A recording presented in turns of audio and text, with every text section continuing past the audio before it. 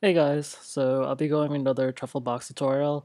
This tutorial goes over um, the Solidity backend with a Next.js frontend. And for those of you who don't know about Next.js, um, honestly, I didn't know much about it either, but it seems to um, work with React a lot, so there's a lot of similarities to React.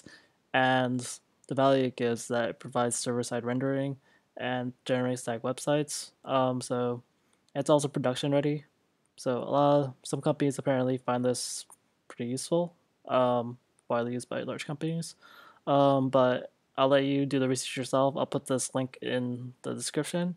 Also, link Vercels, which is the company of Next um, website here, so you can also take a look. Um, and by the way, like I'm mainly just doing these videos based on popularity of the truffle boxes. Like these truffle boxes have stars next to them, and this particular one has 110, and um, out of all the truffle boxes out there, that's pretty high.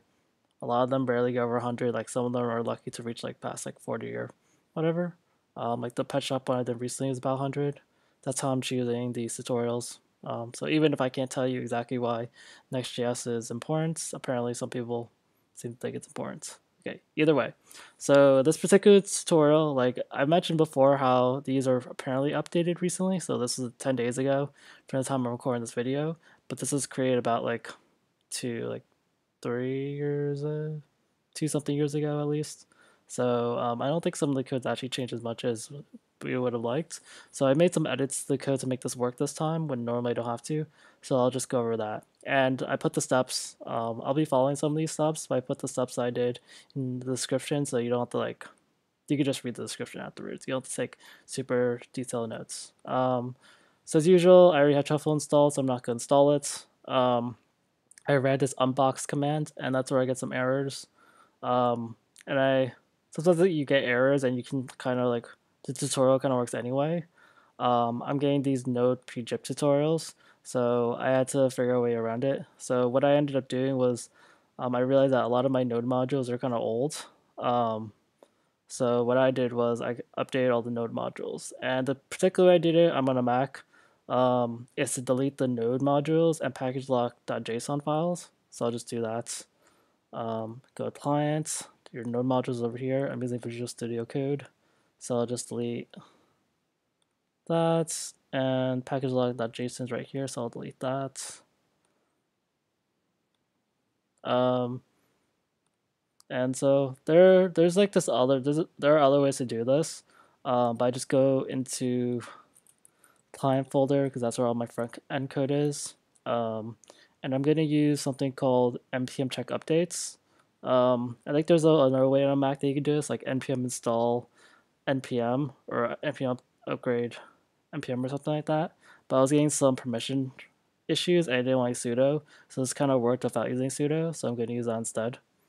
Um, so this will check to see like what updates you can do, and ideally, like generally, what you want to know is that you're, if you're working on a very old project, you want like Node to somewhat automatically um, just update all the dependencies for you to like update versions. Um, so that's what I'm doing now. And over here, you'll see that like I can upgrade like this next to from version 6 to 10, React from 16 17, React DOM 16 17, and this Web3 beta to natural non-beta version. And then it says if you want to install, just do npm install. So I'll just do npm install.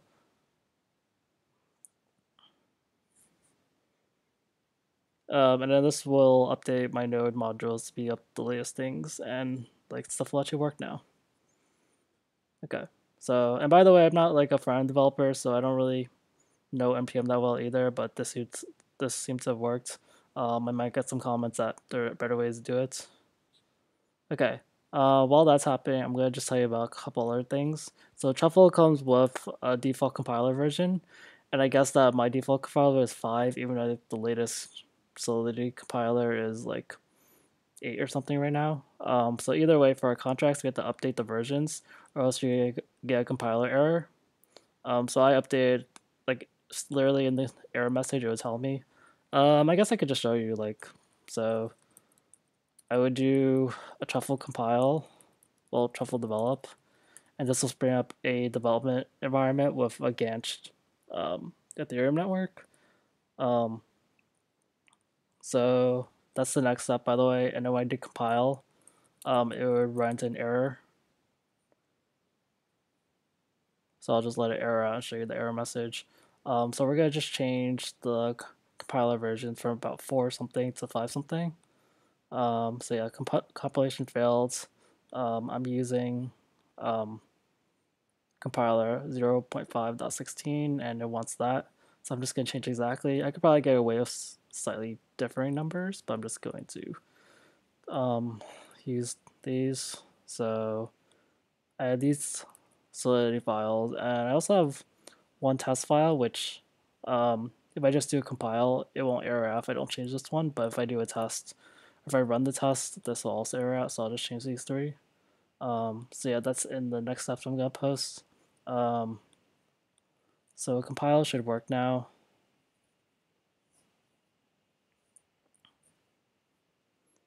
Um, and then something else that you want to change, it's to happen later on, is later on we're to run to um, this path file. So when I did the compilation, um, it created these JSON versions of my contracts in this build contracts folder.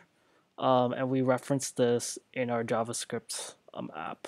So here you see uh, it's trying to reference this, this contracts.simple storage.json. So it's trying to reference this file. Um, that's not the right path.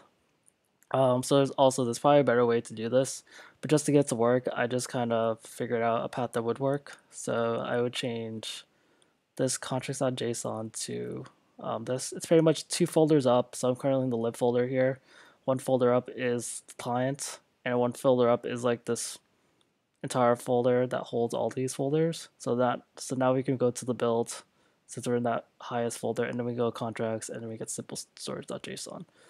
Um, so I'm just doing that now. I had a typo there so that um, we don't run into issues later. Okay, so that's all the change I did.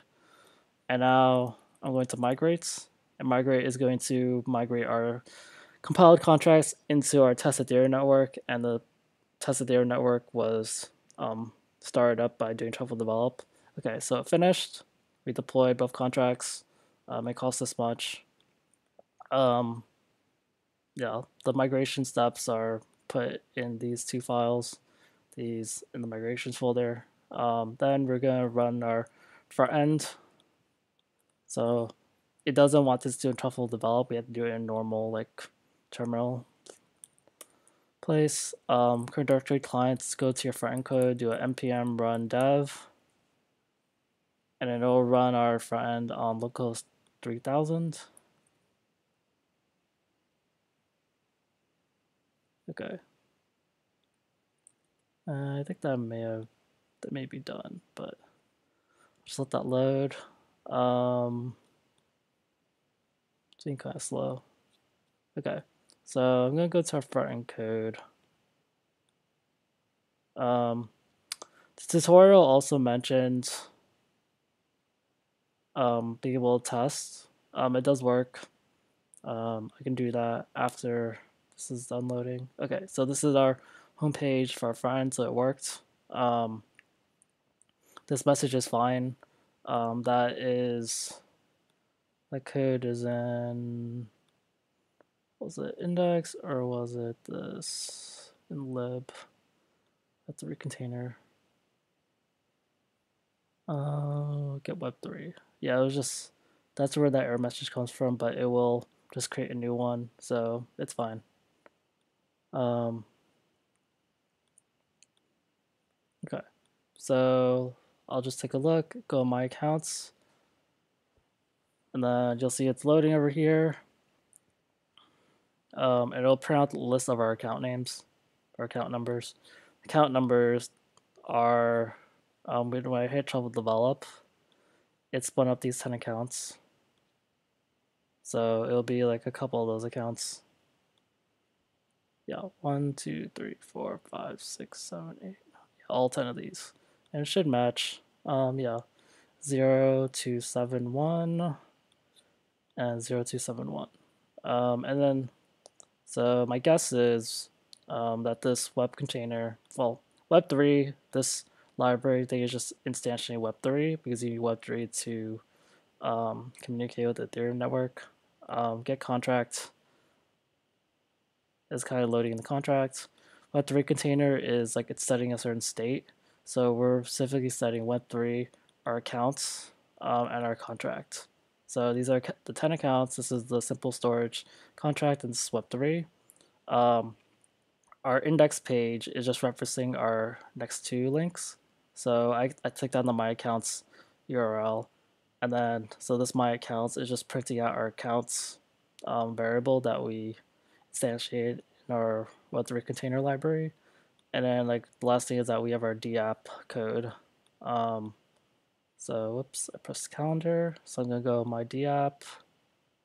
Um, it's a lot slower since I'm recording this. Okay, so I noticed that when I did get account balance. Oh, actually it's working now.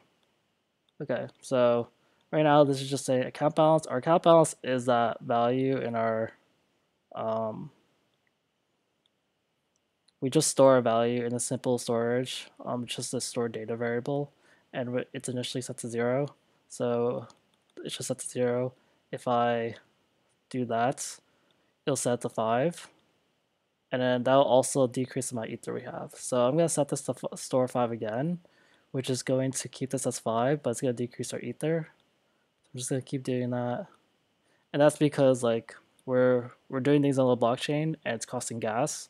So even though it's not really, really doing anything, it still like costs money to do it. Um, so that's that. Um, that's pretty much the entire tutorial. Um, there's some stuff on MetaMask and test RPC I'm not gonna go over. If you want me to run the test, um, I can run the test. Um, but this will pretty much run the files in this simple storage um, test files. Um, that's pretty much it. Um, hopefully that helps. I'll just let this finish up. Um, let me know if you guys have any questions. Yeah, it's compiling our test file right now. Um, and it's doing the test, and you'll see some successful messages after soon.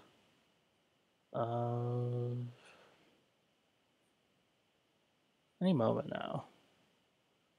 Yeah, so it said it took 173 milliseconds. That seems to take longer to me, but uh, there's also overhead from all the recording software, um, so it should run faster for you.